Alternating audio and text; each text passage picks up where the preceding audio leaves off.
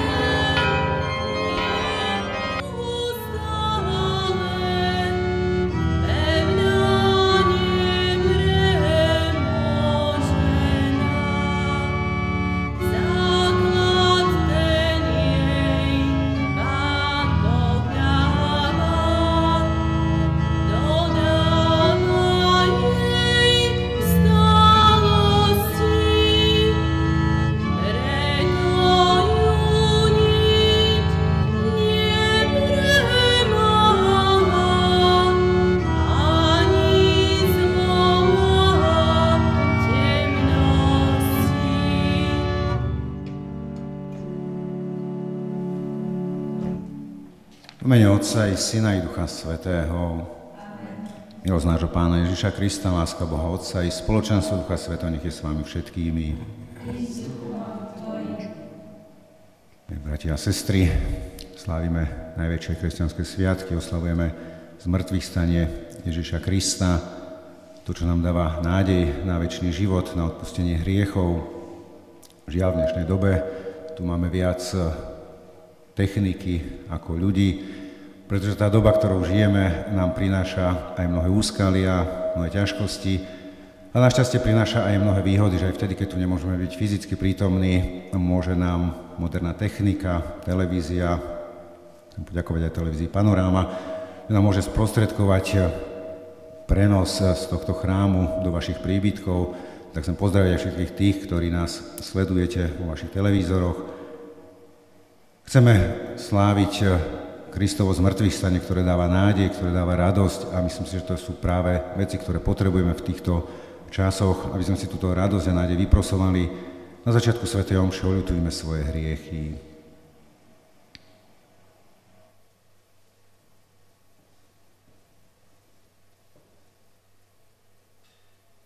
Vyznávam všemohúcemu Bohu i vám, bratia a sestry, že som veľa zrešil myšlienkami, slovami, skutkami, zanedbávaním dobrého.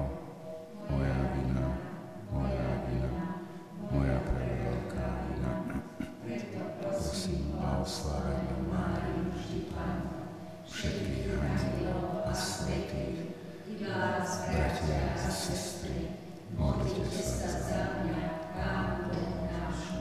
nech sa zmiluje nad nami Všemohúci Boh, kde nám hriechy odpustí a privedie nás do života večného.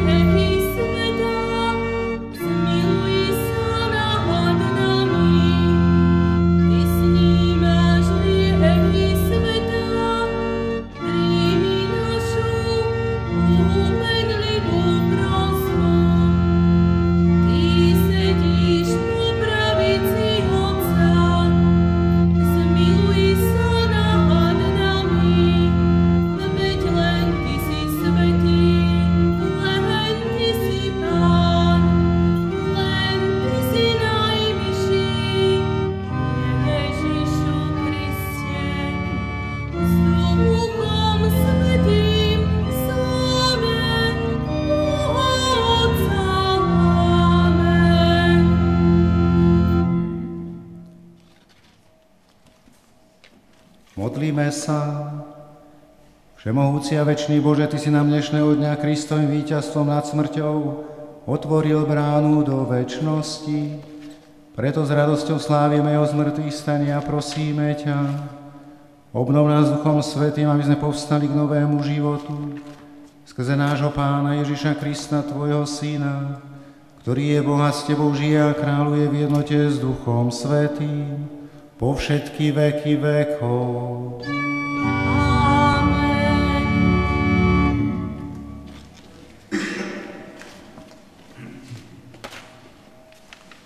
Čítanie zo skutkov apoštolov.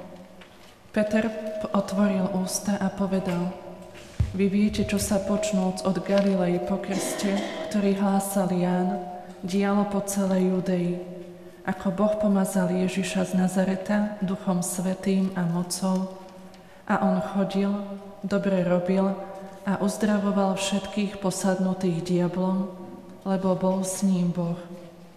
A my, sme, a my sme svetkami všetkého, čo urobil v judejskej krajine i v Jeruzaleme. Ale, za, ale zavesili ho na drevo a zabili. Boh ho tretieho dňa vzkriesil a dal mu, aby sa zjavil nie všetkému ľudu, ale svetkom, ktorých Boh vopred určil, nám, čo sme s ním po jeho zmrtvých vstaní jedli a pili. A prikázal nám, aby sme ľudu hlásali a dosvedčovali, že to jeho Boh ustanovil za sudcu živých i mŕtvych. Jemu vydávajú všetci proroci svedectvo, že pre jeho meno dosiahne odpustenie hriechov každý, kto v neho verí. Počuli sme Božie slovo.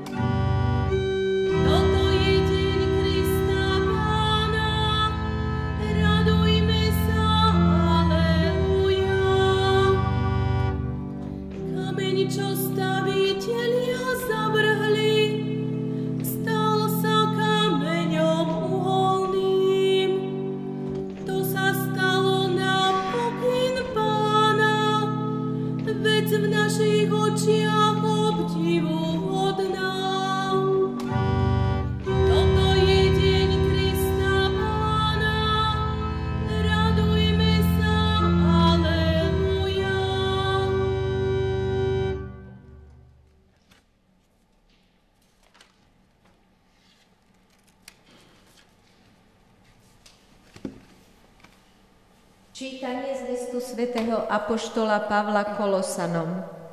Bratia, ak ste s Kristom stali z mŕtvych, hľadajte, čo je hore, kde Kristus sedí po pravici Boha.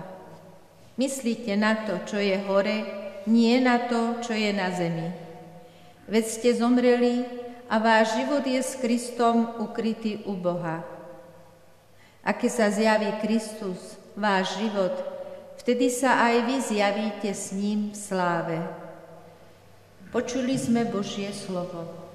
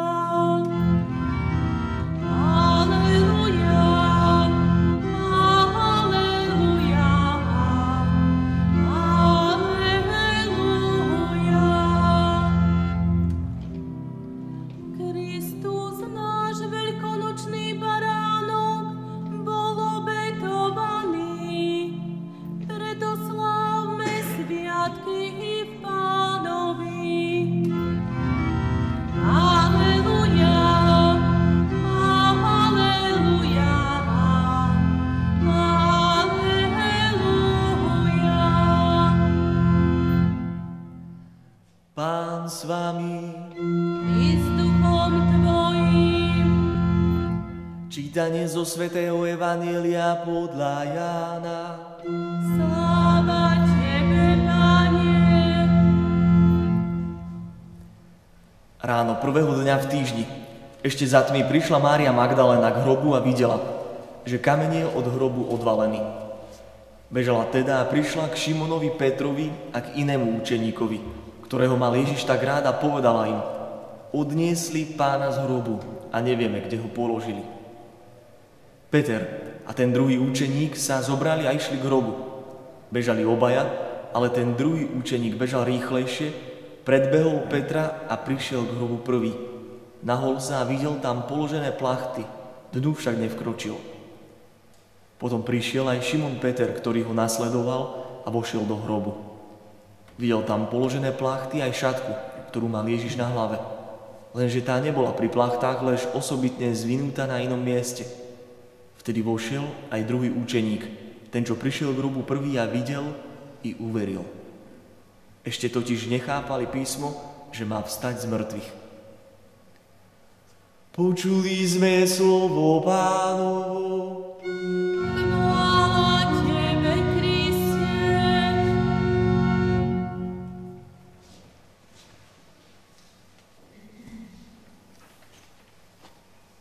Bratia a sestry, všetci, čo nás pozeráte na live streame z Žarnovickej panorámy.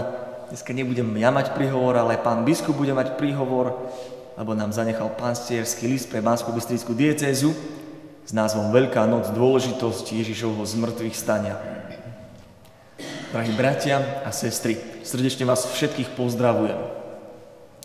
Prežívame mimoriadnu situáciu doma i vo svete vyvolanú veľkou epidémiou. Táto vážna situácia sa mení zo dňa na deň, z týždňa na týždeň a predstavuje istý obraz pozemskej nestálosti a pominuteľnosti. Prosím, skúsme práve v tejto nelahkej chvíle, nakoľko sa to len dá obrátiť celú pozornosť na veľkú nemeniteľnú pravdu a pevnú istotu kresťanom, na pánovu zmrtvých stane. Dobre viete, že čím je človek zrelší a starší, tým radšej a častejšie spomína. Ja si rád spomínam na kňaza verbistu, Pátra Emila, ktorý roky účinkoval v Trenčíne a bol veľmi dobrým obhajcom kresťanskej viery. Neraz som ho počul, ako úspešne oponoval viacerým rečníkom. Spomínam si, ako ho jeden mladý dôstojník armády konfrontoval s tvrdením, že kresťanstvo nie je ničím výnimočné, že na svete je veľa rôznych ľudových povier v úvodzovkách a množstvo rôznych zakladateľov náboženstiev, tak nech s tým svojim Kristom dá pokoj. Pater Emil sa ho napokon spýtal, prosím vás, a tí zakladatelia rôznych vier, ktorých vy hovoríte, vstali z mŕtvych? O tom neviem, povedal dôstojník. A ja viem, že Ježiš Kristus slávne z mŕtvych stal, dodal Páter Emil. Argumentácia spomínaného Pátra nie je nová. Ona odzrkadluje náuku apoštola národov svätého Pavla z prvého listu Korintianom.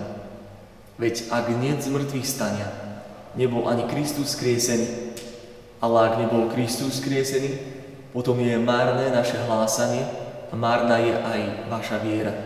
Sme falošnými Božími svetkami, lebo ak mŕtvi nevstávajú, nevstal ani Kristus.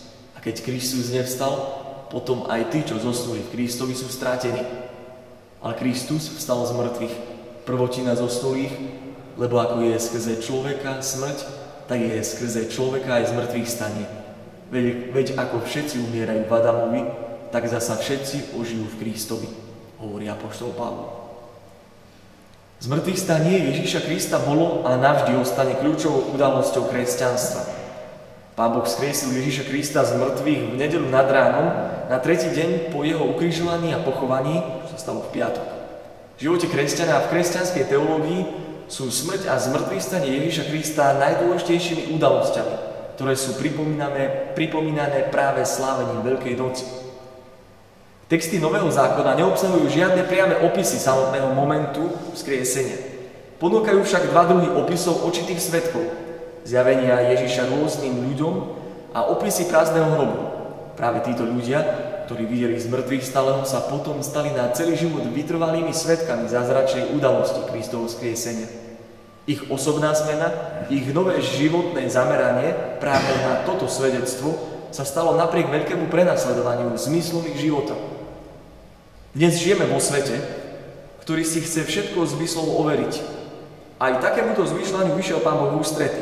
Istým príkladom prelínania sa učenia o zmrtvých staní s kresťanskými relikviami je turínske plátno, zázračný obraz ľudského tela. Súčasné meno plátna je odvodené, odvodené od talianského mesta Turín, kde je táto relikvia od roku 1578 starostlivo uchovávaná. Nielen kresťanskí autori vyhlasujú, že telo, ktoré bolo do plátna zavinuté, nie je iba ľudské, ale aj božské a že obraz na plátne bol zázračne vytvorený v momente vzkriesenia. Svetý pápež Pavol VI hovorí, že plátno je nádherným dokumentom Ježišovho ukrižovania, smrti a zmrtvých stania, napísaného pre nás v listoch krvi. Spisovateľ Antonio Casanelli v knihe The Holy Shroud z roku 2002 tvrdí, že plátno je úmyselne božským, za úmyselným božským záznamom o 5 stupňoch umúčenia Krista Pána, vytvorené v momente jeho vzkriesenia. Nedávno potvrdil tento pohľad aj plastický chirurg profesor Bernardo Montanilla z kliniky Navarskej univerzity zo Španielska, čo zverejnili aj naše katolické noviny v číslom 9 roku 2020. Profesor Montanilla tvrdí, že muž zavinutý v plátne robí pohyb osoby, ktorá sa snaží vstať. Profesor vie túto tézu aj vedecky doložiť.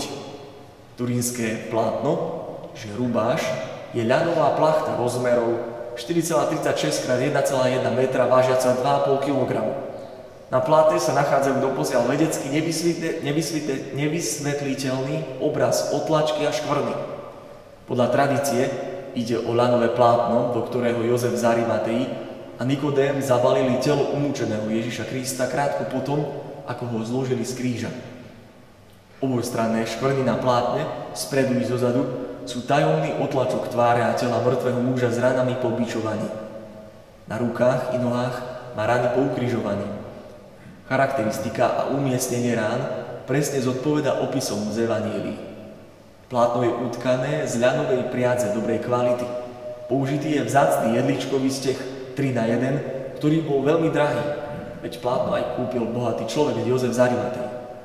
Staropilosť plátna je viacnásobne doložená jednak početnými peľovými zrnkami, ktoré sa vyskytovali pred 2000 rokmi len v Palestíne. Ďalej stopami po indickej bavlne, ktorá ostala po predchádzajúcej práci na krosnách. Túto bavlnu v stredovekej Európe nepoznali. Ako aj jedinečným otlačkom mince leptónu na pravom oku muža, ktorý sa razil v rokoch 29 až 30 po Kristovi. Vtedy bol u Židov zvyk klásť zomrelým na oči mince. Fakt, že otlačok mince leptónu na pravom oku je aj s chyborazbou z roku 2009, e, z, ro, z roku 29 po Kristovi. Takmer úplne vylúčuje nejaký stredoveký podvod, lebo táto emisia chybných mincí bola veľmi vzácna a dlho v Európe nepoznaná. Skúmanie plátna uhlíkovou metódou v roku 1988 bolo žiaľ vedecky nedôsledné a tendenčne zmanipulované čo v rokoch 2000 a 2002 potvrdili nezávislé vedecké týmy. Preto podnes sú pôvod látky a jej nevysvetliteľný obraz predmetom intenzívnych debát teológov, historikov a iných výskumníkov. Aj keď pre niekoho môže byť turínske plátno smerovníkom k Ježišovmu zmrtvých staniu, tradícia cirkvi kladie väčší dôraz na svetkov. Podľa cirkevnej tradície každé osobné zasvetenie sa Ježišovi je dôkazom, že Ježiš žije. Každý nový krst a každé sviatostné rozrešenie v mene Ježiša Krista je dôkazom, že Ježiš žije. Toto církev a jej dejiny, hoci neraz plné ľudských slabostí a zlyhaní, sú navždy a pevne oporou našej viery. Církev živého Boha je stĺp a opora pravdy, hovorí prvý list Timoteovi. Drahí bratia a sestry, pridajme sa k veľkým svetkom Kristovo zmrtvých stania, aj my, najmä v tejto neľahkej spoločensko-zdravotnej situácii, a to verným prežívaním našej viery, doma a všade, kde sa nachádzame. Dostali sme dar Božieho svetla, žijeme v ňom. Vinšujem vám pokojnú a milosti plnú Veľkú noc. Nech sme všetci motivovaní veľkonočnou nádejou na, de- na definitívne a šťastné stretnutie so zmrtvých stalým Kristom. On je naša istota a pravý zmysel, cieľ nášho života. Všetkých vás zo srdca žehnám, monsignor Marian Chovanec, pánsko-bystrický biskup.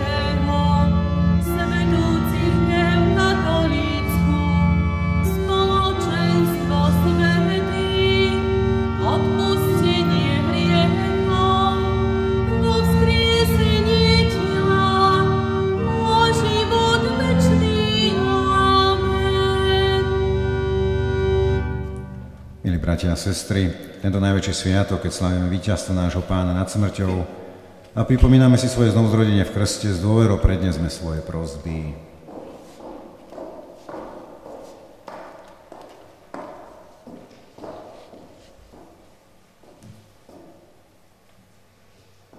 Modlíme sa za nášho pápeža Františka, za nášho biskupa Mariana a za všetkých kňazov. Oče, naplň ich silou Ducha Svetého, aby s radosťou ohlasovali z mŕtvych stanie Tvojho Syna. Prosíme ťa, vyslíš nás. Modlíme sa za všetkých pokrstených. Bože, zvelaďuj nich nadprirodzený život, ktorý si im daroval krste. Prosíme ťa, vyslíš nás.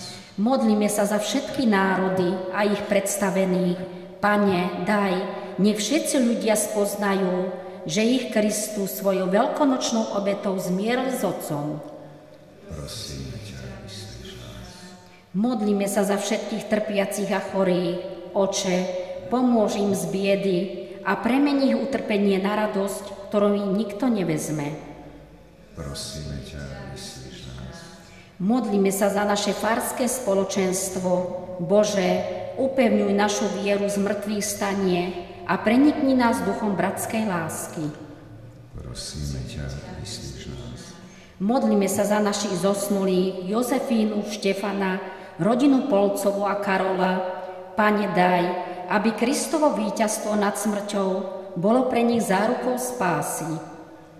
Prosíme ťa, vyslíš nás. Bože oča, oče, dopraj našim zomrelým, rodine Kaškovej a Rudzanovej, účasť na Kristovom skriesení Tvojom väčšnom kráľovstve.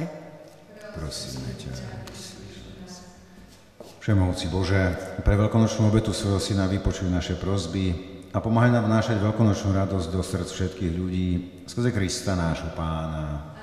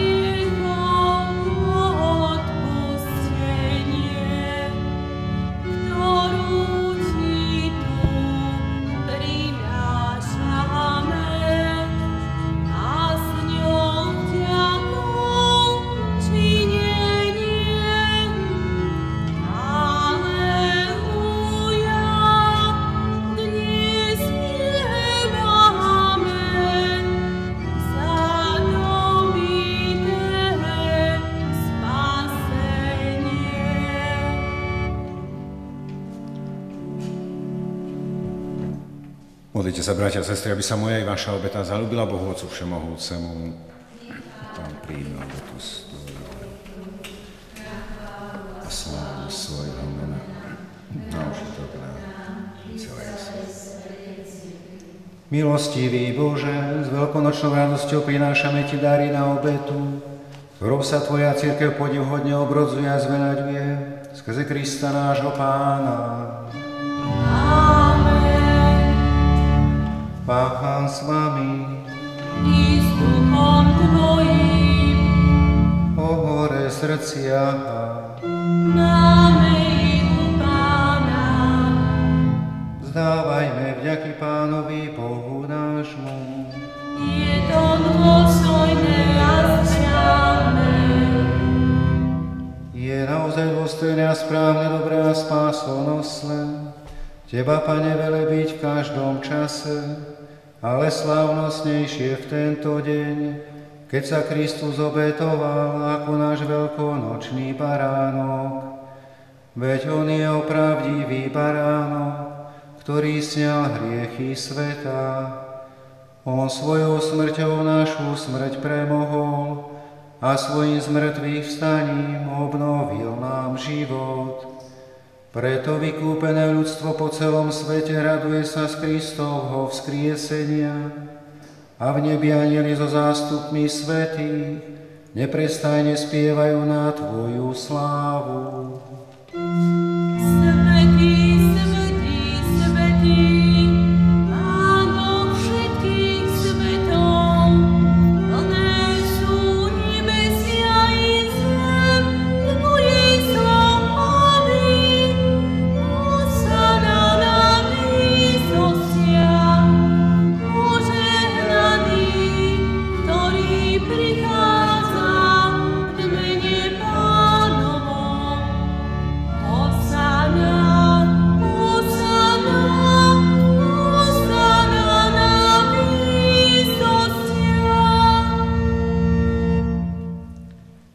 Naozaj si, Svetý Oče, a právom ťa chváli každé Tvoje stvorenie, lebo skrze svojho Syna, nášho Pána Ježiša Krista, mocou a pôsobením Ducha Svetého oživuješ a posvecuješ všetko a ustavične si zhromažďuješ ľud, aby od východu slnka až po západ prinašal Tvojmu menu obetu čistú.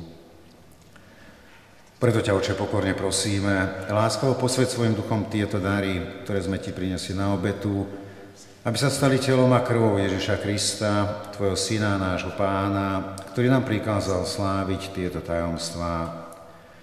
On tú noc, keď bol zradený, vzal chlieb, vzdával Ti vďaky a dobrorečil, lámal ho a dával svojim učeníkom, hovoriac, vezmite a jedzte z ňou všetci, toto je moje telo, ktoré sa obetuje za vás.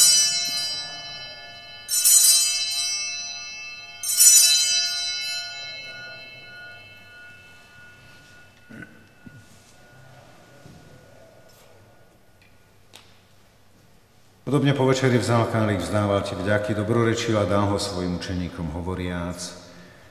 Vezmite a pite z neho všetci. Toto je kálik mojej krvi, ktorá sa vylieva za vás i za všetkých na odpustenie hriechov. Je to krv novej a väčšnej zmluvy. Toto robte na moju pamiatku.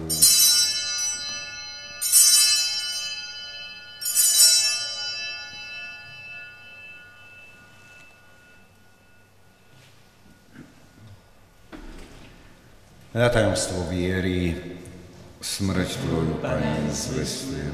A tu je zmrtvý stane.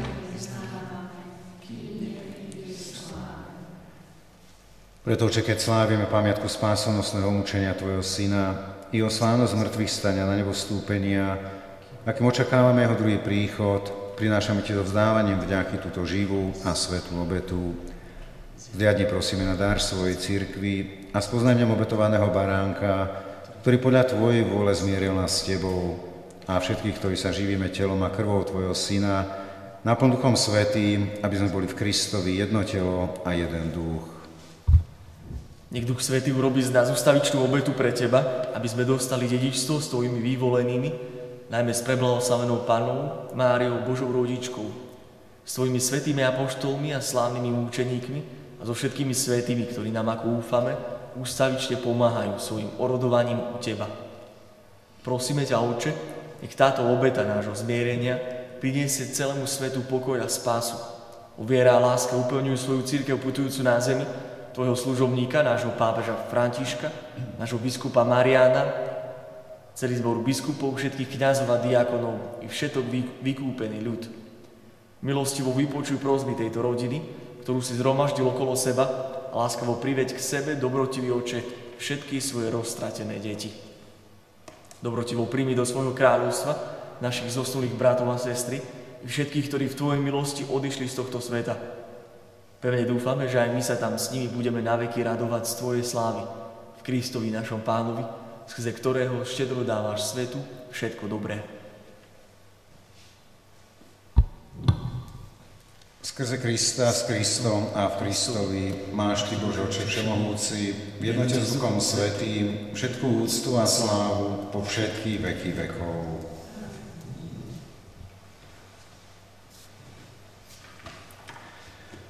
Voláme sa Božími deťmi, a nimi aj sme, preto sa modlíme s veľkou dôverou.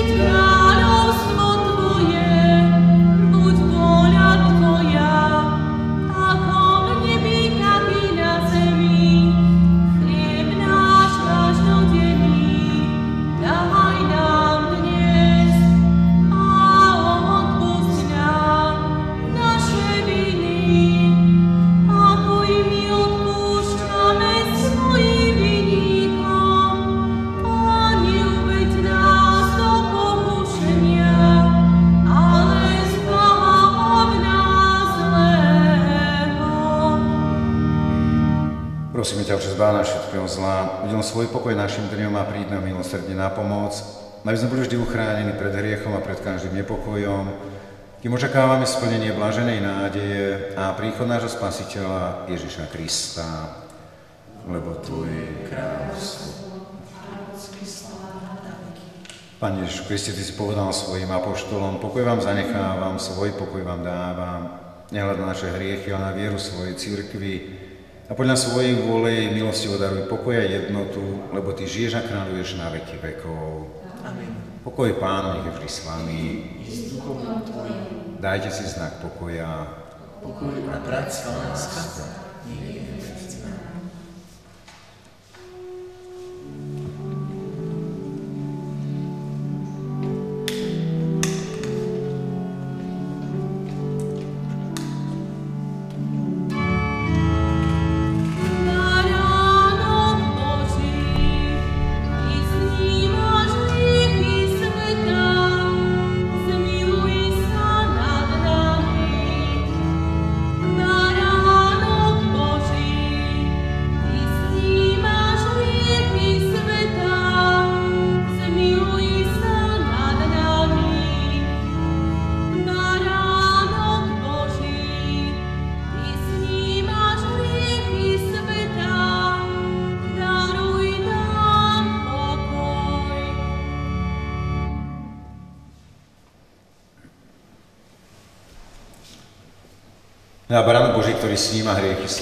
blažení tí, čo sú pozvaní na hostinu baránkovú.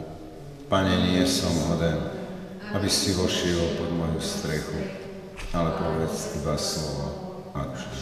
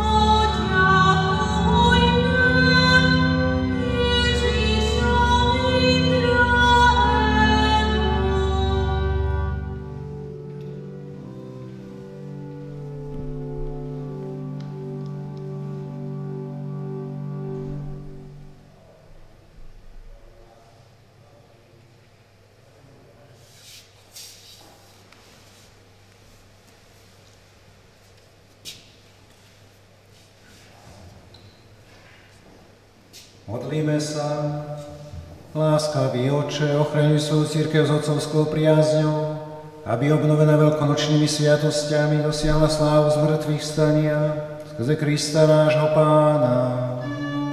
Amen. Bratia Teda sestry, aspoň také skrátené oznámy. Budúci týždeň máme, alebo celý týždeň máme veľkonočnú oktavu, keď každý deň prežívame ako deň pánovo skriesenia. Sveto omše, ktoré ste zahlásili, budú slúžené na jednotlivé úmysly, napísané aj e, na nástenke, aj na webe, teda tak, ako bolo nahlásené. Budúca nedela, nedela Božieho milosrdenstva, vieme, že stále platí zákaz verejných bohoslúžieb až do odvolania, takže stále sa tu na tomto mieste spoločne nestretneme. Ešte by som chcel pripomenúť, že bude zápis do prvého ročníka základnej školy Andreja Kmeťa, teda do cirkevnej školy, bude prebiehať formou elektronickej prihlášky.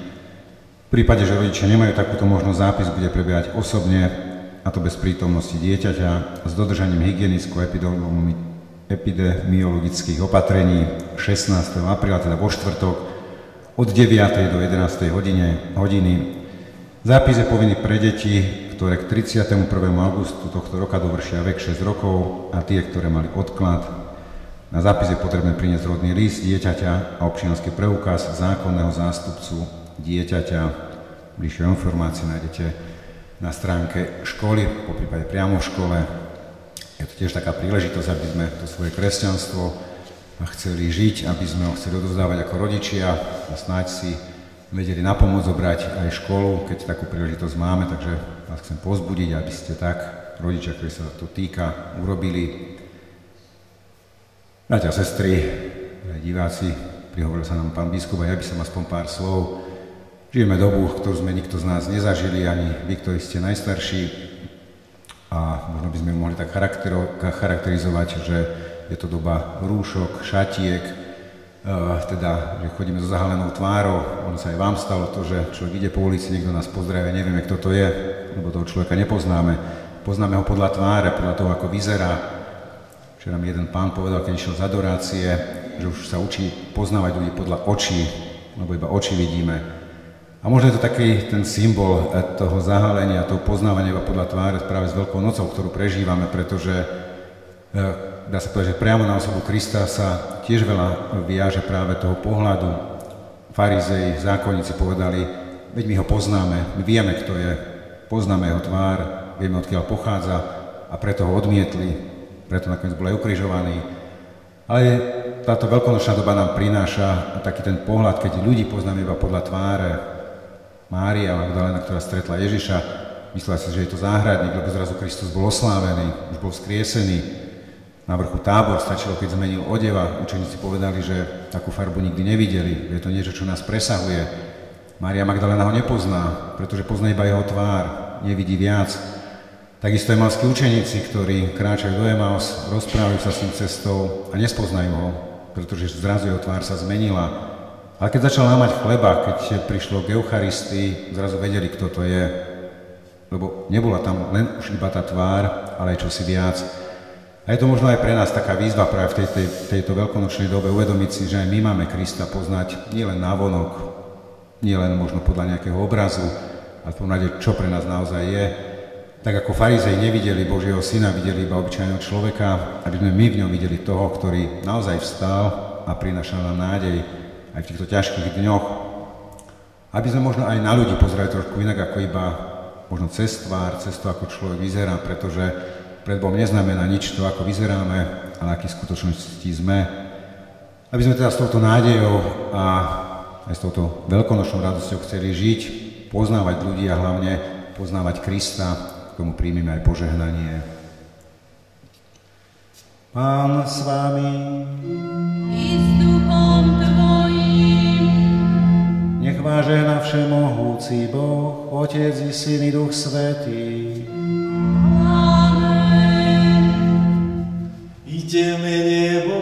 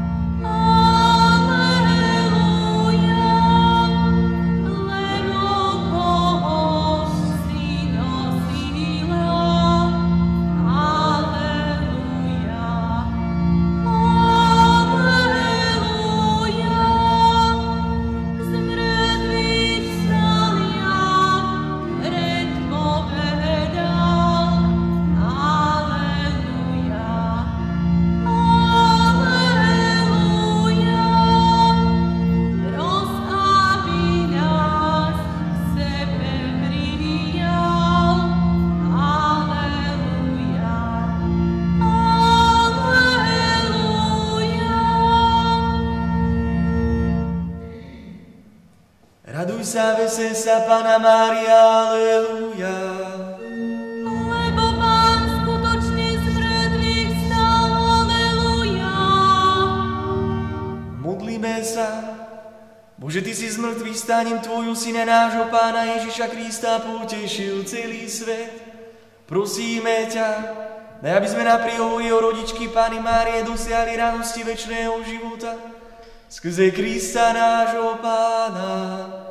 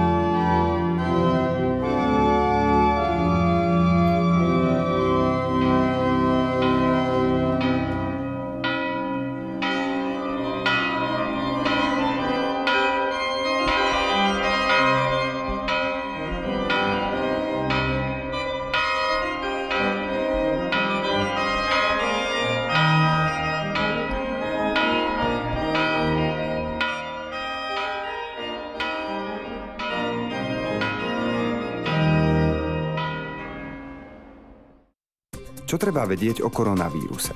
Koronavírus COVID spôsobuje horúčku, kašel, dýchavičnosť, bolesti svalov a únavu.